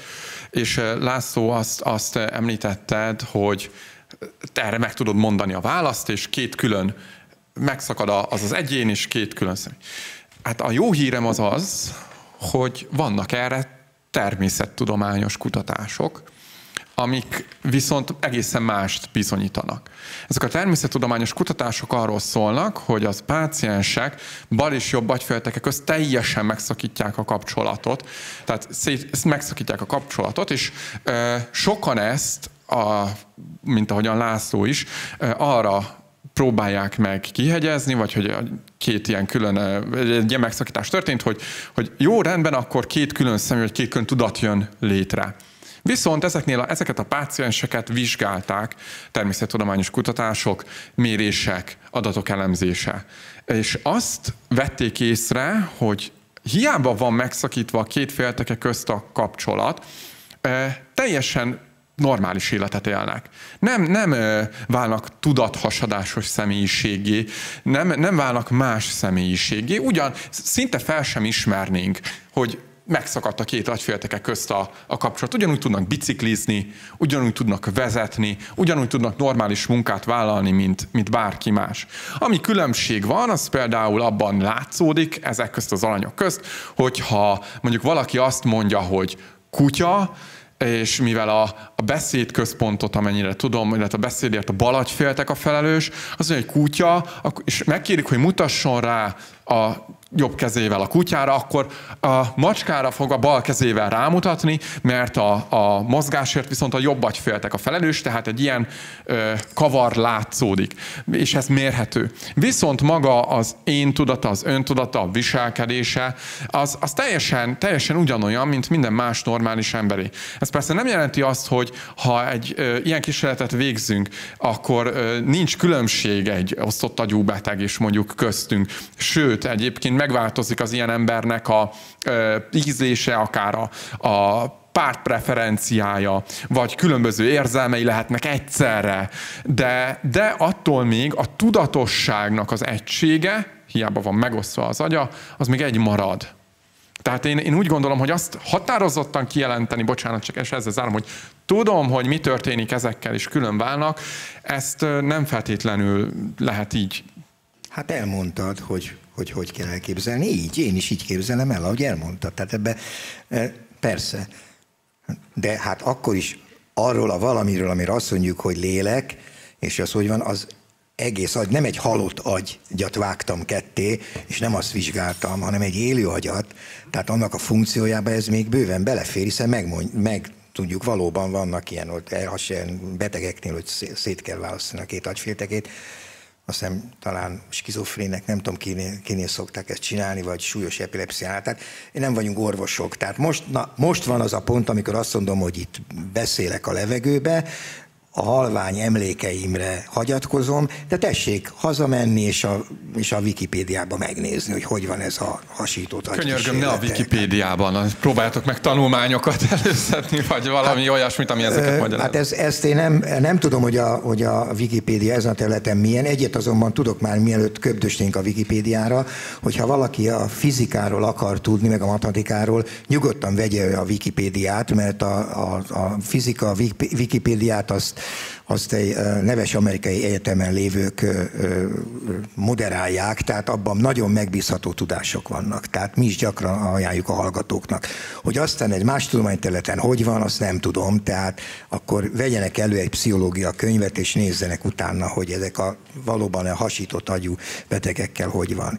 De bármit mondtál, mindenből, mindenből én továbbra is csak azt látom, hogy te megint csak az agynak a funkció, tehát a, a funkciójáról beszéltél, de nem mondtad meg, hogy hol van a lélek, amikor az agyon kívül van. Tehát ezt meg kell mondani, és egy tapasztalat, igen, én ezt tapasztaltam, és erre csak az az egyedüli lehetséges válasz, hogy agytól függetlenül van egy lélek. Például meghal a delikvens, és akkor egyszer csak az, az lelke megjelenik valahol, és azt mondja nekem, hogy Szervusz László, én most a Józsi agyától függetlenül létezem, és íme itt vagyok, tehát igen.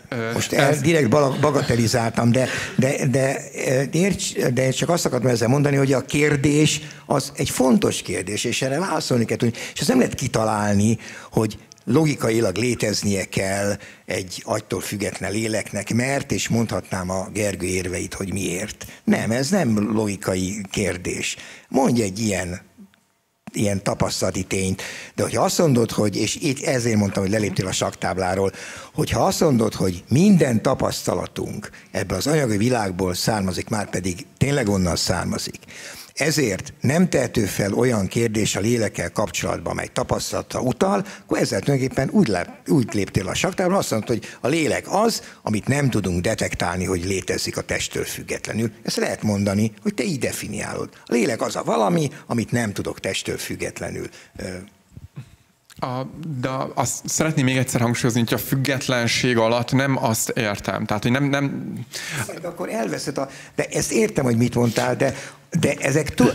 De, figyelj, a léleknek vannak tulajdonságok. Te amikor, a, most, hogy konkrétan beszéljünk, hogyha te azt mondod, hogy e, mi lelkipásztorként, hogy ide figyelj, Józsikám, ilyen, meg ilyen, meg ilyen, meg ilyen, ilyen tulajdonságú a jó keresztény ember, ilyen, meg ilyen tulajdonságai vannak, aki rossz keresztény, tehát próbálj úgy viselkedni, te jó keresztény legyél. Akkor te felsoroltál tulajdonságokat, uh-huh. felsoroltál ö, ö, viselkedési formákat. És akkor ö, nem mondhatod azt, hogy ez, ez akkor annak a léleknek lesz a megnyilvánulása, gondolom én, a beleilleszkedve a te gondolatmenetedbe, hiszen az a lélek fog majd büntetést kapni, vagy jutalmat, aki produkálja ezeket a jó tulajdonságokat. Tehát akkor nem mondhatod azt, hogy a tulajdonságok nem fontosak, Hát dehogy is nem, annak alapján ítéljük meg, hogy az a lélek micsoda, hogy benned milyen érzelmek, milyen ö, viselkedési formák alakulnak ki. Tehát ez nem lehet függetlenül tenni a kettőt. Én nem, nem feltétlenül azt állítom, amit, ö, amit te most mondtál, László, az, a léleknek vannak tulajdonsága. A lélek az, ami például az akarati cselekvésünket befolyásolja, ami, a, ami átéli az érzelmeinket, a fájdalmainkat. Viszont egy, egy példával had, hadd világítsak akkor erre rá. Te, ha szabad így kérdezni, legalább nem kell napra pontosan, mint Orosz László professzor, címzetes egyetemi docens, aki itt ülsz most velünk a színpadon, te mikor születtél? Az év, év. Na most a, ez egy jó kérdés. Ugye mikor születtem? Hát a fizikai megszületésem az már jó régen volt, a születésnapomon. De amikor azt, mond, amire azt mondom, hogy én megszülettem, akit én orosz Lászlónak mondok, hát a ködös visszaemlékezés szerint a, már felnőtt fejjel visszagondolva, az körülbelül olyan hát talán három éves korom után volt az a, az a valami, amit így utólag azt mondom, hogy akkor már én, volt az én tudatom. Tehát uh-huh. amire azt mondtam, hogy na ez már én vagyok. Körülbelül ha? ekkor, de az fokozatosan alakult ki, nem rögtön a születésem pillanatában. Jó, Tehát el ez... kellett telni egy időnek, amíg úgy hatott rám a környezet, szociális környezet, fizikai környezet, mely végül kialakította bennem azt a valamit, amit én magadnak, magadnak gondolsz. Igen. E, akkor, akkor én ezt el tudom fogadni, helyezkedjünk most akkor bele ebbe, és mondjuk azt, hogy te orosz László, aki ma itt ülsz, mondjuk három éves korodban lettél az, akit te ma orosz Lászlónak ismersz, persze változtál, meg fejlődtél, de, de hogy így az én, az, az akkor született meg benned. Na most három éves korod és a mostani korod közt eltelt, hát talán tíz évnél több, hogyha szabad mondani, és 11 év pontosan. és, és te mégis orosz László vagy ugyanaz, aki három éves korodban öntudatra ébredtél. Mármint úgy ugyanaz, hogy az én, én tudatod, az, akit Oroszországnak ismersz, a fejlődéseiddel mindennel együtt az akkor szült meg. Viszont az alatt az idő alatt, ami három éves korod óta és a mostani korod óta eltelt, minden egyes sejted, minden egyes fizikai elemet kicserélődött. Egy sincs már meg semmi abból, ami akkor megvolt. Te mégis azt mondod, hogy te az az orosz László vagy, itt ülve, aki akkor három éves tudatában ön tudatra ébredt. De hát hogy lehetnél ugyanaz, az, hogy lehetnél az az oroszlászló, értsd jól, tehát az én, én vagyok az, hogyha, hogyha pusztán anyagból állunk. Akkor, akkor azt kellene mondanod, hogy én sem anyagilag, sem az én képemben, sem abban, hogy, hogy én orosz László vagyok, abban te nem vagy az, aki tíz éve voltál, húsz éve, és húsznál nem menjünk tovább, mert annál idősebb nem. Lehetsz, de tehát érted, mire szeretnék kiukadni? Értem, de ez megint olyan dolog, hogy a funkció számít, tehát nem az számít, hogyha maradjunk az óra példánál, az órába kicserélem a fokaskerekeket, akkor mondhatja valaki, hogy ez egy más óra, de hát attól az még ugyanúgy fogja, és ugyanarról az óráról van, vagy ugyanak az órának tulajdonítom. Hát mint a Parasz bácsi, aki azt mondja, hogy itt van ez a kapa, ezt még a ükű kapámtól örököltem, tízszer cseréltük a nyelét, hatszor a fokát, de ez mégis ugyanaz. Tehát és hogyha, ugyanaz a kapa, tehát magyarul ha, a funkció, és az, hogy hiába változik meg a sejtjeink kicserélődnek természetesen, de maga, a struktúra, az változatlan marad. Hát változatlan, amennyire ugye változatlanul tud lenni, ami tehát persze fejlődik az ember tapasztalat alapján fejlődik a, a lelki élete, stb. Igen, de hogyha ennek az órának minden egyes alkatrészét kicseréljük, mondjuk minden nap egy másik alkatrészét, akkor mondhatjuk el, hogy tíz nappal ezelőtt, amíg amit néztünk, hogy ez az óra, és ami naponta kicseréltük az alkatrészt, és tegyük fel, hogy tíz alkatrészből áll egy nagyon, nem tudom, napóra, egy primitív napóra. Ez ugyanaz az óra. Mondhatom ezt a végén, a tizedik Igen, napon. funkciát tekintve mondhatom, Értem, hogy az, viszont az. akkor, viszont nem ugyanaz az óra áll anyagilag előtted. Tehát, hogy te, te, mint orosz László, te nem csak egy funkció vagy, ezt te is tudod, hanem neked van egy identitásod. Hát azt csak én képzelem, a kis Hát, énként képzel ide. Igen, ez a lényeg, biztos, hogy van. van, van, azt mondtad itt ülve, hogy te orosz László három éves korodban Amit, le- úgy fog, amit úgy fogalmaztam meg. Tehát igen. Ez, de... Igen, de akkor, akkor, akkor ezt el kell vetned, akkor azt kell mondanod, Miért? hát azért, mert ha csak és kizárólag az vagyunk, ami a fizikai Igen. testünk, és annak a funkciója, Igen. akkor maximum annyit mondhatunk mondjuk az óra analógiájára, Igen. hogy az, ami a tizedik napon mind a tíz alkatrész kicserésével szüle- kicserésével született, az egy óra, mint ahogyan te is orosz László egy ember vagy, de nem az az óra, és te nem az az orosz László vagy. Mondjuk ezt, hát ez, ez, ez nem befolyásol akkor- semmit. akkor- Akkor, mondhatjuk azt, hogy három éves koromban alakult ki egyfajta én tudatom, és a mai én tudatom az attól más. És tényleg más, mert azóta tapasztalataim lettek, életem sem alakultak, tehát ez egy más valami. De, de, De ha nem de vagy az ugyanaz, Egy, egy, a, bocsánat, ha nem vagy ugyanaz, és ez nagyon fontos, akkor például tegyük fel, elkövettél 30 évvel ezelőtt egy olyan bűntényt, ami nem évül el, akkor érvelhetnél azzal, hogy de hát kérem szépen, az az orosz László fizikailag is mindenben nem az volt, aki én vagyok, és bíró úr, lebuktam, de hát nem én buktam le, hanem 30 évvel ezelőtt valaki, aki nem is én vagyok. Gergő, rafinált vagy, megint, megint lát. Köszönöm. E, hogyha ez jelenti azt, hogy megint megfogtál, akkor, nem, akkor legyen. Nem, nem, nem, nem, nem azt jelenti, hogy ö, ugye mindig másról kezdünk el beszélni. Tehát a te koordinátádba, vagy a te gondolataid szerint, ugye a lélek a testtől függetlenül létezik, igaz, ezt mondtad? Nem, de aztán ezt pontosítottam, hogy ez nem azt jelenti, hogy például a lelkünknek szükségszerűen kell létezni azelőtt, hogy megszületünk, és azután, hogy megszületünk. A testtől függetlenül az azt jelenti, hogy nem anyagi. Tehát a, ez, ez, ez De ezt nem. elég, eléggé ezt hosszasan értem, de, ezt nem, de igen, de ezt nem tudom hova tenni a nem anyagit, mert mi a fene lenne valami, ha nem anyagi. Hát ami anya, nem anyagi, az nem létező. Az nem létezik az én szememben, mint természettudós szememben. Tehát ez, ez, ez, innen, innentől kezdve ez már filozófia. Létezik a, a, a rózsaszín elefánt a fejedben, meg?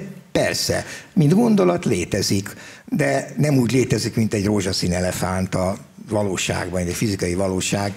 Az is egy fizikai valóság, mert az agysejtjeim, vagy a, a, a, az, ideg, az idegpályák azt a képzetet keltik bennem, hogy rózsaszín elefántot látok. De hát nem, tehát így értem ezt.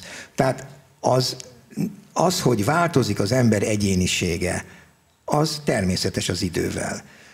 De te most áttetted a kérdést, átterelted egy, egy, egy etikai problémára, és erre is van válaszom, mert hogyha valaki elkövet egy bűntényt, de megállapítja a bíróság azt, mert van egy jó ügyvédje, hogy ez a, ez a bűntény áll- adott esetben beszámíthatatlan volt az illető, nem volt tudatába a tettének a súlyával, mert például elmebeteg, akkor azt nem fogják elítélni, elmegyógyintézetbe fogják zárni. Tehát azt akarom ezzel mondani, hogy az egyéniséget, azt a valamit, amit te azt mondod, hogy például bűnt követett el, azt igenis tudni kell, hogy az a mentális állapota mennyire függött attól, hogy ő, hogy ő milyen testi agyi állapotban volt, tehát milyen betegsége volt. Tehát amit azt Nem mond, kell, hogy legyen betegsége, László. Tehát, De hogyha, jó, de hát- ha te, te tök egészségesen, mentálisan is, testileg is 30 évvel Akkor ezelőtt el elkövetsz egy olyan... De ez az, hogy az alapján, amit te mondtál, Igen. és a fizikalizmus alapján nincs okunk azt mondani, ha csak test vagyunk, hogy az én személyes identitásom, akit engem elítélnek, Igen. fizikailag is és a személyes identitásomban is, az, aki 30 évvel ezelőtt volt. Hát nem is mondja senki, mert fejlődik az ember. Hát De hát akkor, ha nem én voltam, sem fizikailag, sem személyes identitásomban, akkor, akkor nem is engem ítélnek el. Hát Ez mit, azért. mit jelent az, hogy nem is téged Hát ítélnek nem el? engem, hiszen én sem személyes De akkor identitásomban, minden nem, nap más vagy. Tehát akkor Ez pillanatról pillanatra más és más vagy állandóan, akkor nincs értelme arról beszélni, hogy mi az, hogy, hogy az egyén és az egyéni felelősség. Hát akkor miről beszélünk? És ez a fizikalizmus problémája. De ez nem probléma, mert azt mondom, hogy a, az illetőnek a agy működése, vagy az illető egyénisége az összes tulajdonságával együtt, az jellemzi az őt, és amikor esetleg egy konfliktusba kerül a társadalom, és elkövet valamilyen bűnt, akkor azt az egyént meg kell büntetni. Tök mindegy, hogy kit büntetünk meg. Jó, szerintem legyen ez most egy zárszó a beszélgetésnél, beszélgetéssel kapcsolatban. Azért nekem, bocsánat, még ha belefér, lenne két, egy-egy kérdésem a résztvevőköz ha esetleg csak egy, egy mondat elég megválaszolnak, az nagyon megköszönném. Gergő fele azt kérdezném, hogy ha jól értem, ugye azt állítottad, hogy azok a fajta érvek, amit ugye László felhozott, ugye tulajdonképpen tehát az agysérülésekkel kapcsolatban az mennyire egy közvetlen ugye, hatása van, ugye kimutatható hatás van az elmében. Ugye azt mondod, hogy ez pusztán csak egy oksági kapcsolatot mutat ki, nem pedig egy azonosságot. Az a kérdésem viszont, hogy értelmezhetjük, hogy ha már abból indultunk el, hogy nem egy szigorú ugye, következtetési formával élünk itt, hanem sokkal inkább valószínűségítéletekkel, hogy akkor esetleg ez valószínűsíti azt, amit a László mondott, annak az igazságát. Tehát csak pusztán valószínűség alapon. Mármint micsoda valószínűség? Hát anna, abban, hogy azonos, azonosítatjuk. Nincsen szükségszerűen ugye mert tehát abban az értem, hogy olyan érvünk, ami szükségszerűen bizonyítaná, de valószínűség alapon viszont ugye fölveti nagyon markánsan azt a lehetőséget, ugye, amit a fizikalizmus állít, illetve ami mellett ugye László is érvelt. Nem gondolom, hogy még a valószínűséget is elmozdítaná, hiszen amit ez az érv állít, az, azt nem tagadják a dualisták. Tehát mivel, mivel a lelki folyamataink, a tudatos, tudati folyamataink és az agyunk kapcsolata közt van összefüggés, és oda-vissza hatnak egymásra, ezért az az érv, amikor azt mondjuk, hogy, hogy hát de a, a külső hatások alapján valami megváltozik bennem, és, és mondjuk súlyosan deformálódik, vagy teljesen átváltozik az, az ami én vagyok, hát igen, ez, ez megtörténhet, de nem ez, nem ez a kérdés, mert ezt, ezt mindenki vallja. Jó, köszönöm szépen. És most Lászlótól kérdezném meg, hogy amit fölvetett Gergő, ugye érvként ugye a beszélgetés során többször is, ugye a rózsaszín elefánttal való ugye, példálozás. Ugye itt valami olyasmiről volt szó, hogy tulajdonképpen nem igazán tudjuk redukálni, vagy úgy tűnik, hogy nem tudjuk redukálni végül ezeket a minőségi ugye, állapotokat, ezeket az érzeteket az agyi ugye, állapotra. Tehát, mint hogy csak két különböző dolog lenne itt, markánsan megkülönböztető két különböző dolog. Az egyik az, térben elhelyezkedő, ugye, az agyról beszélek, tehát ami tulajdonképpen tudományosan, vagy természettudományosan vizsgálható, a biológiától, stb. A másik pedig sokkal inkább egy introspekció által megközelíthető, ugye érzetről van szó, és mint csak köszönő vissza nem lenne a kettő között. Nem tudom, ezt mennyire ejtett zavarba esetleg ez az érv, vagy, vagy nem ejtett zavarba? Hát nem ejtett zavarba, annak ellenére, hogy nem biztos, hogy, hogy érthetően kifejtettem az érveimet. Az el tudom képzelni, hogy, hogy a szavaim nem voltak eléggé adekváltak, hogy ezt érthetővé tegyem. De továbbra is azt, azt mondom, hogy igen, a nem az agy egy, mint egységes viselkedéséről beszélünk, nem tudok rámutatni arra az egy agysejtre, hogy ez az oka ennek a valamilyen megnyilvánulásnak. Az egész agy együttes viselkedése ilyen, mint hogy egy mondjuk ennek a hidrogén molekulánál sem tudom megmondani, hogy a, a régi hidrogénsége az melyik tulajdonságában van benne. De ö, tehát az agy mint, egy, mint egy egységesen működő rendszer, és nagyon fontos, hogy itt nem idegsejteknek az együtteséről, hanem egy rendszerről van szó, amely mint rendszer már minőségileg másképp viselkedik, mint egyetlen egy idegsejt. Tehát ez a, a kölcsönhatások miatt. Ebben nyilvánul meg az idegsejtek kölcsönhatása abban nyilvánul meg, hogy lesznek ezek a általunk a lelki funkciónak megnevezett, megnevezett dolgai. De az számomra nem érv, és szerintem továbbra is állítom, hogy a kérdés elő való elbújás azt mondani, hogy a test nélkül, tehát az agy nélkül, agyon kívül létezik lélek, de ezt azért nem tudjuk igazolni tapasztalattal, hiszen ez egy nem egy anyagi, anyagi létező, ezért minden olyan mi a tapasztalataink az anyagi világból szerezzük, ezért minden ilyen, ilyen tapasztalásnak ez, ez, ezen kívül esik. Tehát magyarul a lélek az a valami, ami létezik ugyan a testen kívül, de nem tudjuk tapasztalni, hogy létezik azon kívül. Hát gyakorlatilag ez az állításod, és ezzel én ezért csak elbújtál a kérdés elől, tehát nem kaptunk választ arra, hogy miért létezik a testen kívül lélek. Jó, nagyon szépen köszönöm. Legyen akkor ugye ez úgymond a zárszó.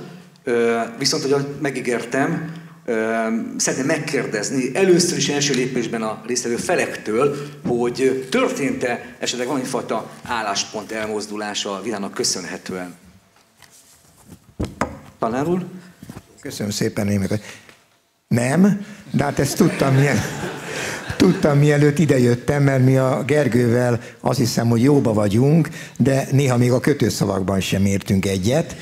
Hát ez most ugyanígy megnyilvánult.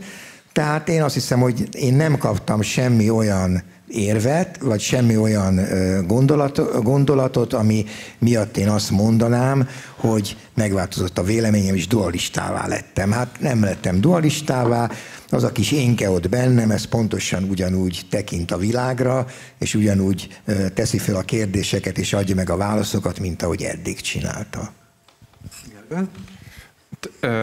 Én nem értek egyet abban Lászlóval, hogy a kötőszavakban sem értünk néha egyet, de, de minden esetre számomra egy, egy tanulsága van inkább az estének, mert tényleg egy ilyen vitán vagy beszélgetésen az, hogy a kintülők álláspontjai megváltozanak, az a legritkább esetben fordul elő, sőt.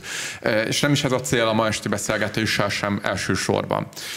De ami számomra elgondolkodtató volt, az az, hogyha megváltozna véleményem és a mondjuk László álláspontját kéne felvennem, akkor, és ha már személyes tapasztalatról beszélünk, akkor azt kell mondanom, és azt kellene mondanom, és ez lenne az ára, hogy akkor én, amit én tapasztalok, hogy én, amit tapasztalok, hogy én létezek, az tulajdonképpen nincs.